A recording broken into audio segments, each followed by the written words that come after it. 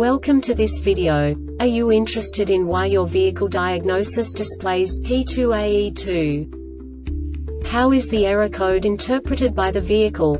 What does P2AE2 mean, or how to correct this fault? Today we will find answers to these questions together. Let's do this. First, let's look at the history of diagnostic fault code composition according to the OBD2 protocol, which is unified for all automakers since 2000. We divide the electric system of automobile into the four basic units.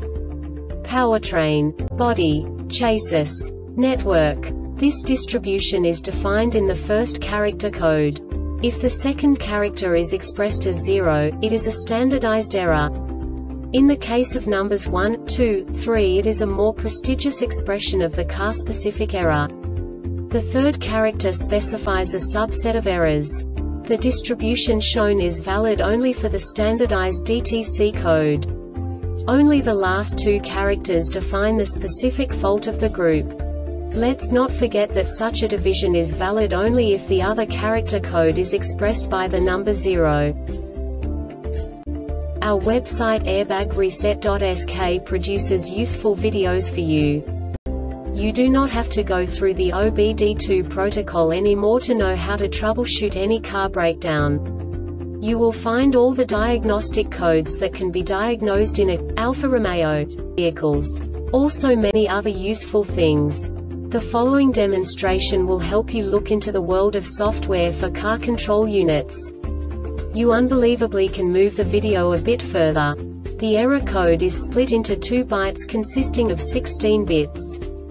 One bit is the basic unit that each computer works with. The bit has two logical states. 0, low level, 1, high level. By combining the first two bits, the basic character of the error code is expressed. The next two bits again determine the second character. The last beat styles of the first byte define the third character of the code. The second byte is composed of a combination of 8 bits.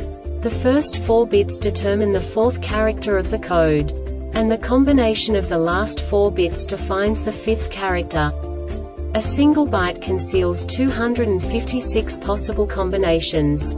We now know in what way the diagnostic tool translates the received information into a more comprehensible format.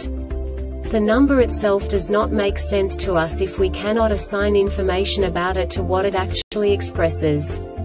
So, what does the diagnostic trouble code P2AE2 interpret specifically Alfa Romeo car manufacturers? The basic definition is Intake Air O2 sensor pumping current trim circuit high bank.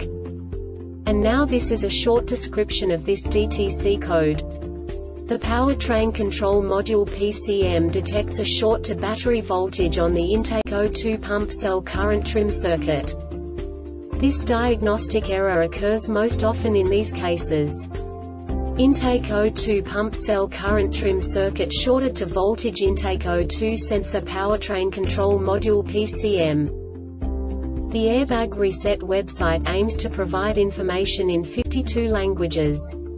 Thank you for your attention and stay tuned for the next video.